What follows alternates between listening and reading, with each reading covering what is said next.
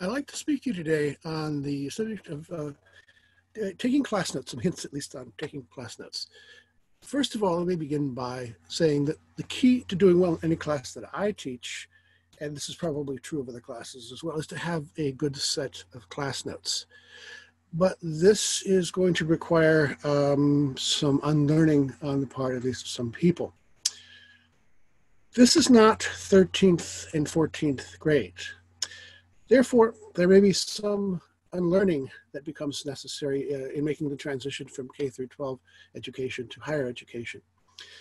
A good K through 12 preparation might uh, conceivably include some good note-taking skills, but I would say as an empirical generalization based on at least my experience as a teacher over a number of years, uh, American K-12 typically does not prepare its graduates for good note-taking. In addition, if you are one of those people, uh, K through 12 is very probably giving you some very bad general ideas about what education is or should be.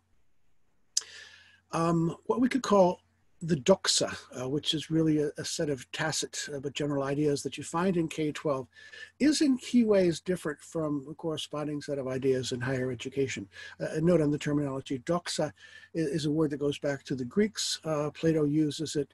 Uh, John Kenneth Galbraith talks about more or less the same thing under what he calls the conventional wisdom, a set of ideas uh, which may be doubtful, but at least in which most people place their credence. Pierre Bourdieu, the sociologist, uses doxa in a, a little more precise way. Uh, by specifying that normally the ideas that fall under any particular doxa or another, and there will be different ones as, as we see here, uh, tend to be tacit, tend to be taken for granted. It seems to me that Bourdieu's uh, way of, of, of, sketching this, by the way, this is his sketch, it's rather like um, what is called the Hallin spheres. Uh, spheres are meant to address the ways in which ideas change, and there are, are three spheres, the outer sphere, uh, this is not quite uh, Dante's uh, three ring, uh, Dante's rings of, of hell, but um, the sphere of deviance uh, and ideas can pass from that into the sphere of legitimate controversy and sometimes even from there in turn into the sphere of uh, consensus. Um, so this Hallin sphere notion is a good way of talking about the way in which ideas change. And just as the border between deviance and legitimate controversy in, in the Hallin spheres is permeable, it seems to me that that between doxa and opinion, that is between the tacit dimension, as, as Michael Polanyi would have called it, and, uh, and that about which we're explicit, might also be permeable. Uh, it should be possible, even if uh, assumptions are assumed tacitly to surface them, uh, to examine them, uh, to criticize them. So when I talk about the doxa of public education that needs to be unlearned in higher education, here's what I mean.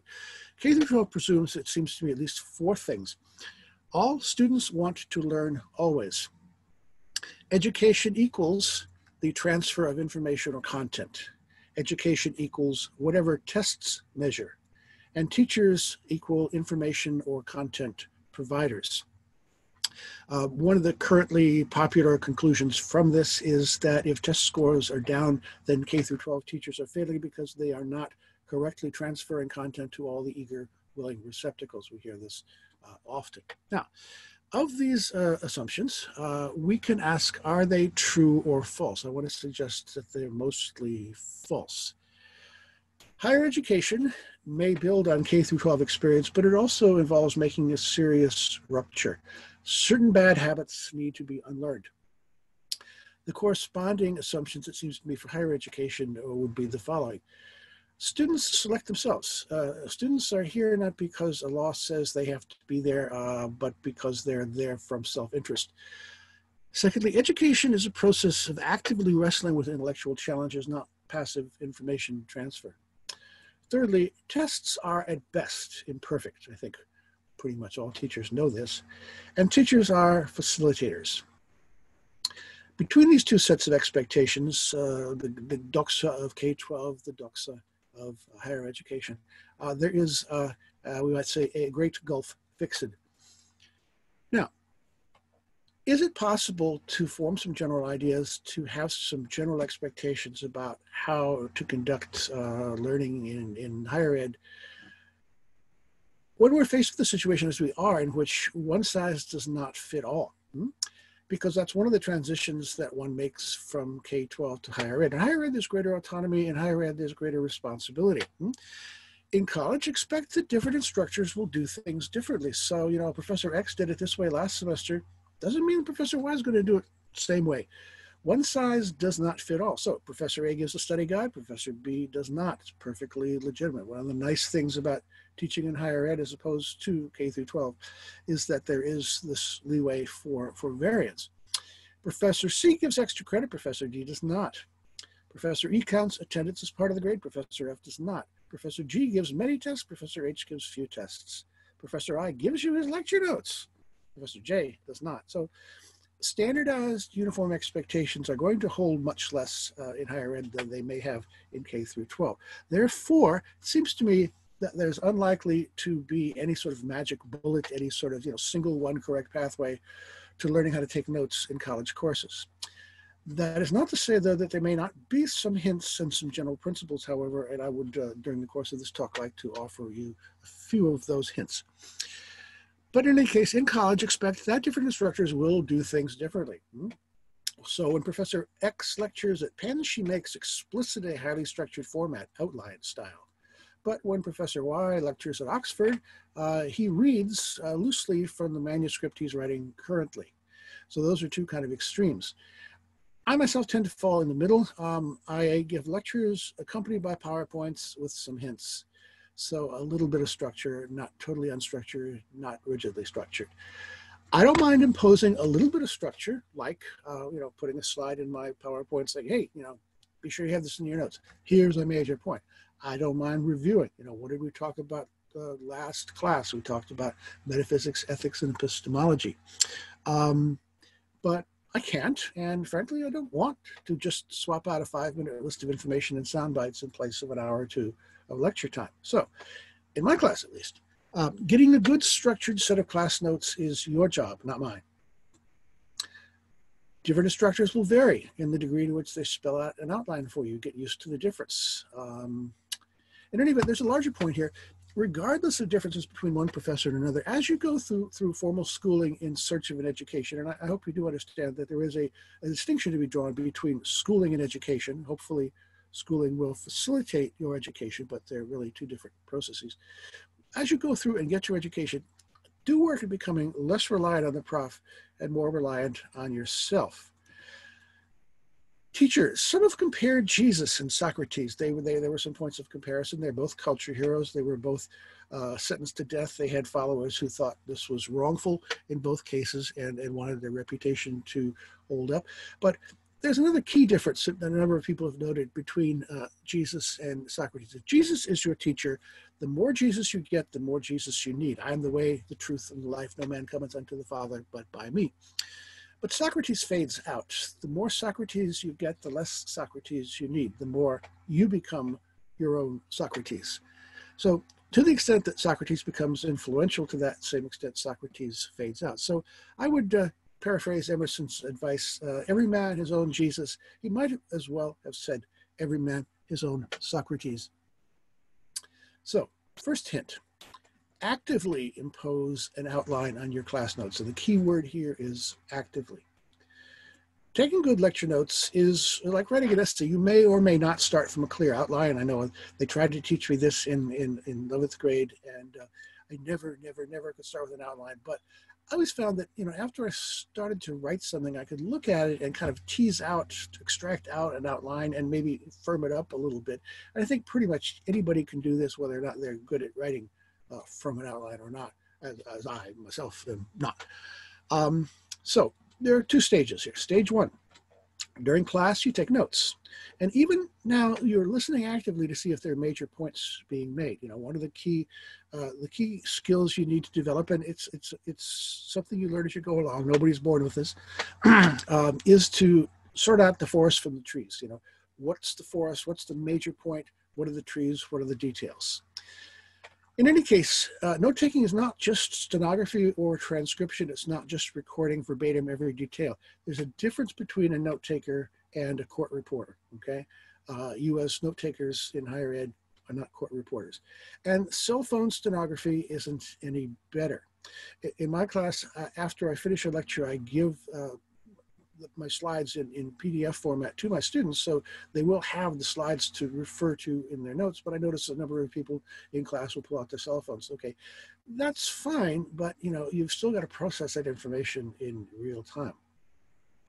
Note taking, as I said before, is not transcription. Um, look at this cartoon, two students sitting side by side. One's taking notes, one is not. You're not taking notes, is the one. Well, I record the lecture and then use voice recognition software on my computer to transcribe when I get home. That way I'm free to take in the lecture without note taking to distract me. That doesn't mean there's not other things that they're going to distract him. Um, a big thing this guy is missing uh, is if you write something down yourself, now you own that idea. Hmm? And another mistake he makes is thinking that understanding a lecture is passively taking it in. Well, how about this note taker way in the back in the purple and lavender? Is that a good idea?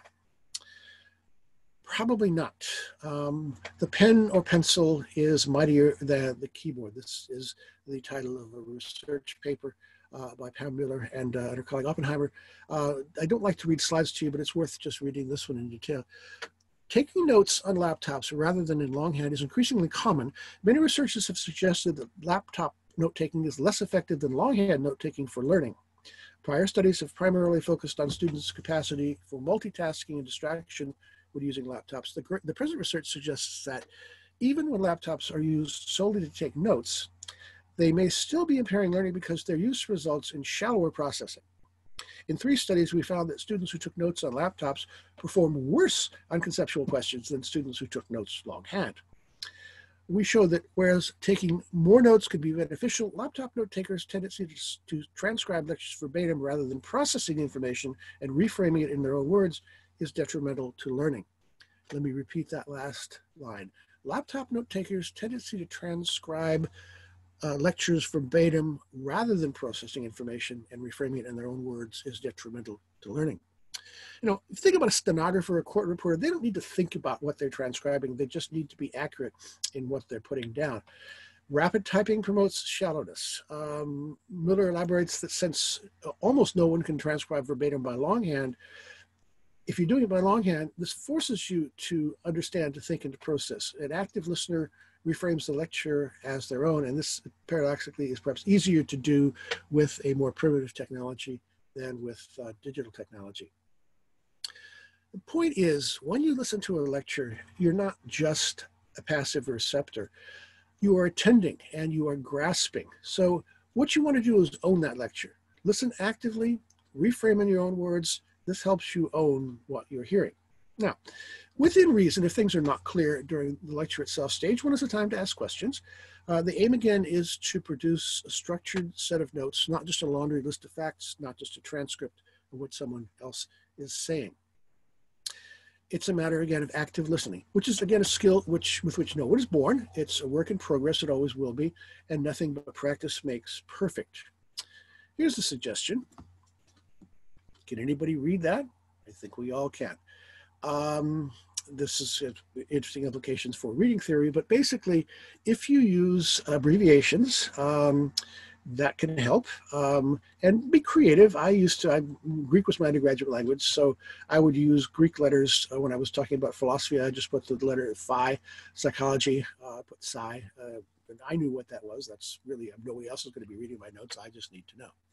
Um, here's something I teach my students on day one and I think it's really useful. Uh, and I wish that somebody had taught me this when I was a student. Uh, I learned this only much later when I was a teacher. One of my colleagues uh, taught told this to a class we jointly taught, and I was just I was amazed. It was a good idea. It's called the Harvard Law School Note Taking Method. And if you go to Harvard Law School, uh, first thing you learn day one is this: um, take your notepad out, draw a line down the middle. Go to page two, draw a line down the middle. You know where this is going. And what you do thereafter is you take notes on only half of your paper, you leave the other half blank. Why? Well, um, number of reasons. Um, one of them is that sometimes uh, professors talk too quickly. Who, who would that be? Um, and you might miss something that one of your colleagues uh, gets. So you can compare notes and you can fill in some things in your notes that you missed and they can do the same thing. In my class, because I do take my PowerPoints in, and, and put them into PDF format and, and email them as handouts, uh, it's possible to go through a set of notes and then embellish those notes, you know, based on a review of, of the PowerPoint slides. Uh, maybe if you're studying for a test, um, uh, you know, you can quiz yourself. There lots of different things you can do. So, you know, if you do this, I tell my students, um, our, our, our, college uh, totem animal is a cougar, uh, you get a Harvard education and you only pay a cougar tuition. How good is that? But in any case, I assume that, you know, when you take notes, you're going to review them. So here's stage two, review your notes. This is where you're going to embellish. This is where comparing notes with others or using PowerPoint handouts, if, if your instructor does that as well, can help. Uh, it's also where you can add outline structure. Hmm? So at least once a week for every course, I think, not just mine, you should sit down with your notes and say to yourself, okay, what the hell did that idiot say all this week in philosophy class? Oh yeah, right. Uh, talked about the two different senses of philosophy, talked about metaphysics, ethics, and epistemology. Right, got it, good. Put some outline structure on there, you know, and you know, there we go. At stage two, uh, Einstein has some very good advice. You don't really understand something unless you can explain it to your grandmother. Hmm? Make things as simple as possible, just no simpler, uh, as, as he also said. Um, now, you don't have to actually uh, bore Granny, but you know you can sort of talk to Granny or someone in your head. Um, make the lecture your own. See if you can summarize it, and then if you do that psychologically, you will own that lecture. It's now assimilated. It's now yours. Stage two course is going to work best if in stage one uh, you've already begun to wrestle with some structure. Here's another suggestion. I don't particularly use this myself, but you know you might want to. Um, rewrite your notes uh, and have two notebooks. Take one to class, and then uh, when you go home to study and, and reread your notes, transcribe them perhaps more neatly and embellish them in a second notebook. That's just kind of a variation of the Harvard method. Uh, if that that seems useful to you. There's also the Cornell method. It's another way of dividing paper up, lots of different methods. But here's the thing, whichever method you use, you do need a stage two. You do need to first actively listen during the course of the lecture. Then you need to sit down at some point subsequently and review and embellish. Hmm? Periodically, say weekly, uh, set these things into context. And this, again, certainly goes for my course of lectures, but again, I suspect it's uh, it's general good general advice for any course, other course as well. Here's another hint. Education is not merely a matter of content and information. Getting an education is not about cramming a brain with content, funneling it in. Its knowledge is not just a sack of information. And once again, this may involve some unlearning from K-12 in which the contrary assumption seems to be in place. It may be helpful to tape class lectures, but an audio recording, uh, likewise a transcription verbatim of a recording, not the same thing as a set of notes notes are condensation, real-time notes summarized. You know, if you go to the Sistine Chapel, you will see what everybody has seen. Sistine Chapel is, is full of artwork. It's very busy. And you'll see people with video cameras walking around for hours at a time, you know, videotaping all these paintings on the ceiling and on the walls, etc. Now, what are they going to do with this videotape? I mean, are they going to watch this in real time when they get home? Are they going to bore their friends with not not just vacation slides, but vacation videos? No. Um, a, one needs not just a live uh, account, but but a condensation, summary to make sense of anything. Well, now you know. Wouldn't it just be great if you could upload all the information in your textbook into your brain while you slept? Or how about we could take in some information in the form of a pill or a liquid? Know, I'm going to knock back uh, tonight a couple of pints of coursework. Acquiring knowledge does not work this way. Um, cramming, uploading, taking in would all be passive methods of filling up with content. And getting an education, on the contrary, is an active process. One has to engage personally and actively with lectures and readings. One has to process actively the concepts one encounters and struggle actively to put them in some structure. This goes to a very fundamental point, very fundamental point about human cognition. Um, the human brain is not just a sponge. It is not just uh, John Locke's blank slate. Kant, on the other hand, was correct. Uh, the mind attends, the mind grasps. it, there's a difference between having your eyes open and actually seeing. Seeing involves noticing, not just having your eyes open. As hearing involves listening, not just having your ears unplugged. So teaching isn't simple content transfer. It's not a matter of, you know, the professor conveying the material to the spongehead student and off we go. Again, getting to be an active wrestler with difficult concepts may mean unlearning the model of passive receptacle from K-12. Getting an education is not just cramming. Knowledge is not just a sack of information. This is a common confusion. Uh, many people seem to suppose that information or data is the same thing as knowledge. You hear a lot of nonsense talk these days about data driven, this, that, and the other. But they're not the same things. Um, on the contrary, knowledge is not simple information. Knowledge is always structured information. Simple information without a structure would be quite useless. I mean, uh, digital information, uh, we call it digital because it could be expressed in digits one through zero, which has an interesting history in, in the fact that the, the original uh, digital computers were had on-off switches represented by one for on, zero for off. Um, but uh, basically, you can encode uh, any bit of information in digital binary form, uh, ones and zeros. That's not knowledge. That's pure information, but it's the furthest thing from knowledge. Here we have an example, not ones and zeros, but here we have an example of information. Um, somebody might write down a bunch of facts about, uh, for example, rationalism and empiricism, the main philosophers uh, involved in that, uh, and so on and so forth. And all this is just true enough as it goes, but uh, this doesn't amount, this collection of information doesn't amount to any real knowledge. If you take that information and put it in a structured form like an essay, now we're getting, we're verging onto, onto knowledge uh, because we're giving it structure. One good index of having acquired general knowledge in a course would be the ability to produce an essay like this, giving information a literate context and a structure rather than just heaping it together uh, with, a, with a bunch of, you know, uh, a bunch of scribbling. Note taking is not just transcription, knowledge is not just information. Therefore, if you find yourself asking any of the following questions, um, how much of this material do I have to memorize? Or can't you just tell me which facts are the important ones? Yeah, but how much of this is going to be on the test? Then you're probably not asking the right question. Uh, and here, by the way, is um, how not to email your professor. Um, I'm in your class this semester, but have missed the first four days due to due DO2 some unexpected problems with work and family. Grin. I would like to letter number two make up the work if you you letter you can send me the syllabus and all the handouts. Thank you. And also if I missed any important info, will we be needing the book this semester because I'm on a budget? LOL. Um, now, I have to warn you, no students were harmed in the making of this slide, but but it's a hypothetical slide that's all too real. It betrays uh, the kinds of problems uh, to which I'm alluding uh, in today's talk.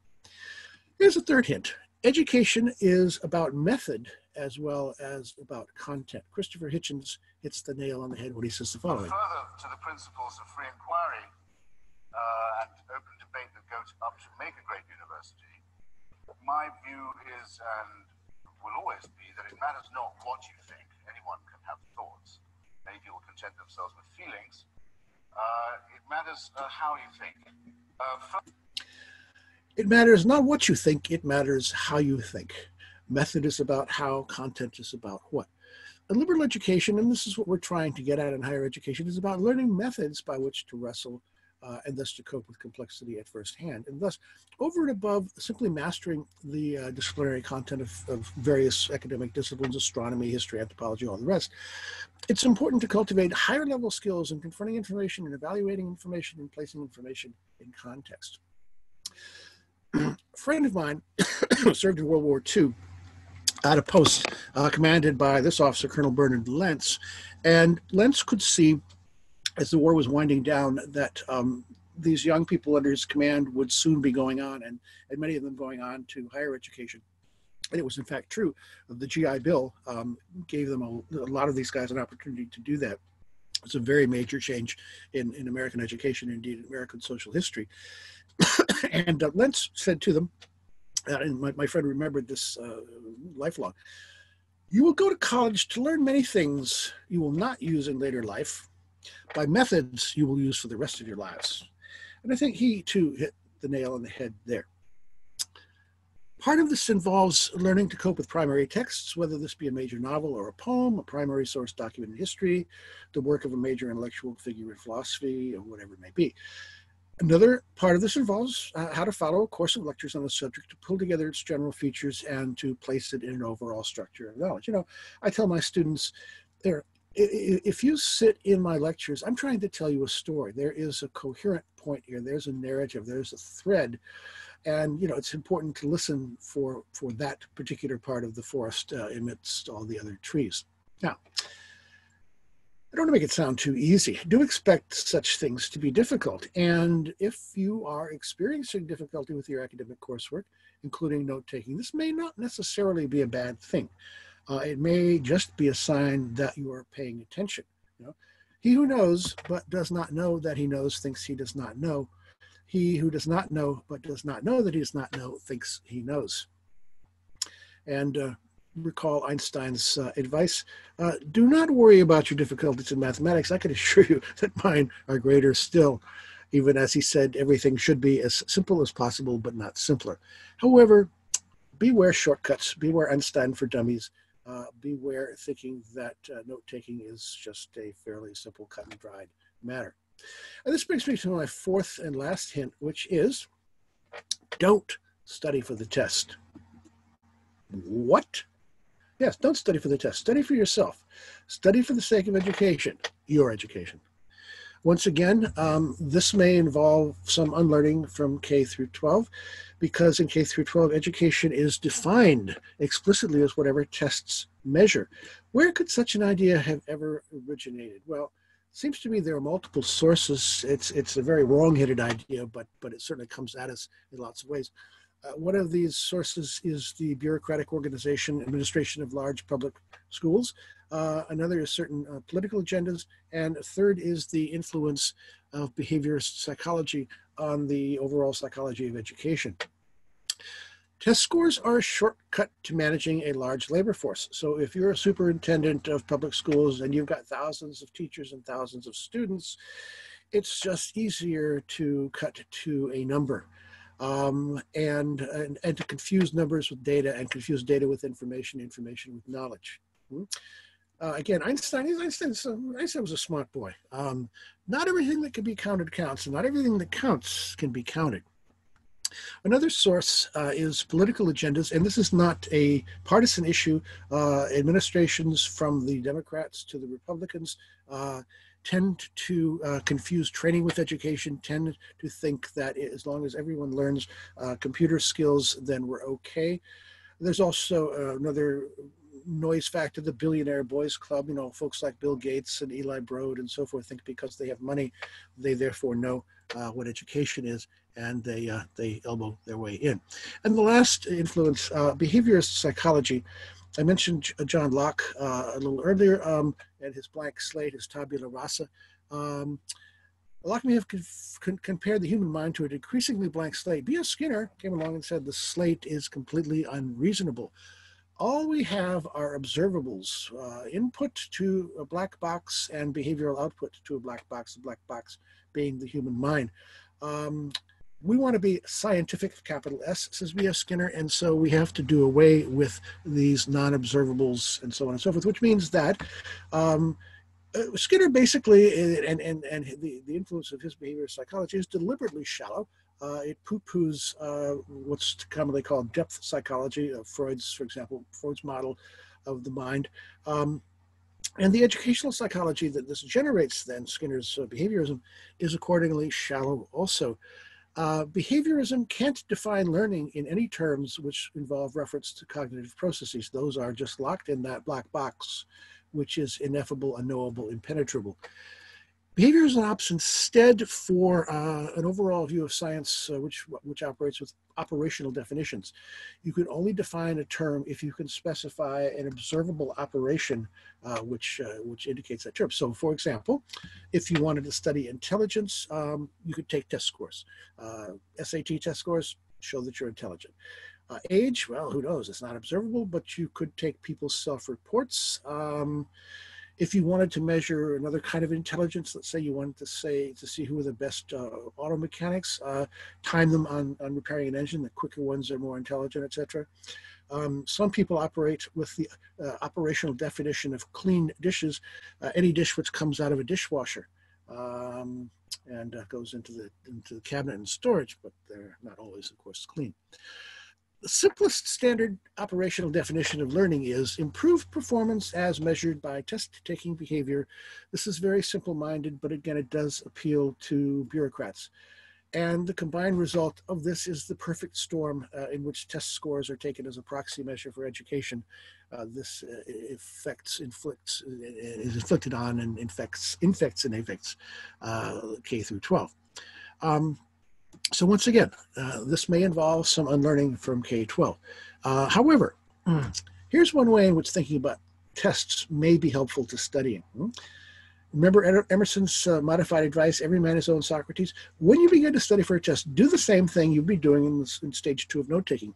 Ask yourself, what are the fundamental questions here? Ask yourself, if I were the teacher making up a test of this subject, what sorts of things would I ask?